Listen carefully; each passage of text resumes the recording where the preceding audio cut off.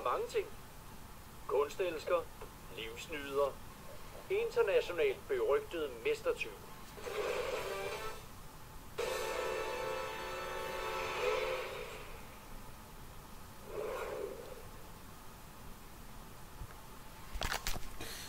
Jo alle sammen, det har man her, og i dag så så I Sly Cooper 15 Time, altså Sly 4 spillet øhm, til PS3.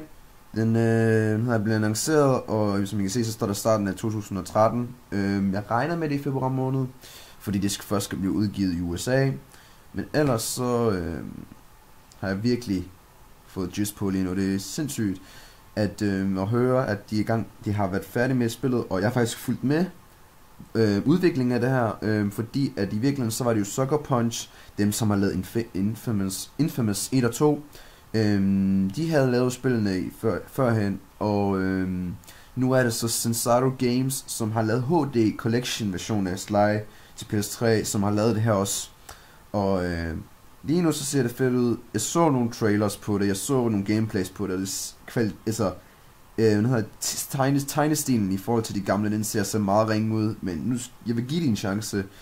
Altså, for det første, så er der de der flaskesamlinger, der, de er der stadigvæk, øh, og man kommer til at bruge de der rustn eller ikke rustninger, man kommer til at bruge forklædninger på en helt ny måde, og gameplayet kommer også til at blive anderledes, og som man lagde mærke til det sidst, så bruger man en tidsmaskine, så det kommer jeg virkelig til at, jeg glæde mig til at prøve. Øh, så ja, der kommer, hvis I søger på Google, så finder I det, Øh, Sly Cooper 4, øh, dansk øh, trailer ting, mm, så kommer det. Øh, men ellers så vil jeg gerne sige tak, fordi I har set min video indtil videre, og øhm, men der hedder, jeg håber virkelig, at jeg kommer til at bruge det her.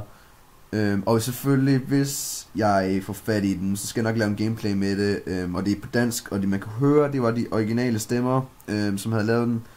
Og øhm, igen, hvis det, hvis jeg får fat i den, så skal jeg nok lave en gameplay på det, men problemet er, at jeg ikke har nogen former for øhm, optagemulighed, som jeg også har snakket om i mine andre videoer før, hen, at jeg ikke kan optage øh, fra nogle konsoller, bortset fra min øh, computer, fordi jeg ikke har den der kabel mere, som ligger hos mine forældre.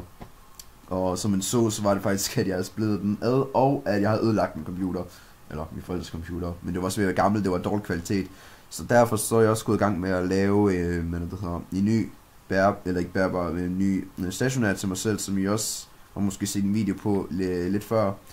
øh, hvor jeg vil, vil prøve at samle en egen computer sammen øh, med nogle forskellige dele og sådan noget, som er meget, meget, meget bedre end den gamle.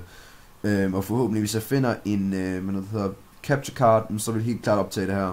Ellers, så vil jeg give jer muligheden for at optage det, fordi at, øh, det er ikke kun mig, der skal have æren for det, så I burde også gøre det jo. Så ellers så vil jeg i hvert fald gerne sige mange tak fordi I har set min, min se den her video og alle mine andre videoer. Så vi ses det næste gang.